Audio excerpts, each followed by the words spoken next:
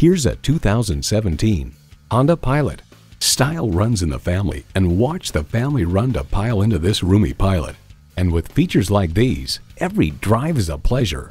V6 engine, front heated leather bucket seats, streaming audio, auto dimming rearview mirror, dual zone climate control, remote engine start, AM FM satellite radio, power sliding and tilting sunroof, doors and push button start proximity key, and integrated navigation system.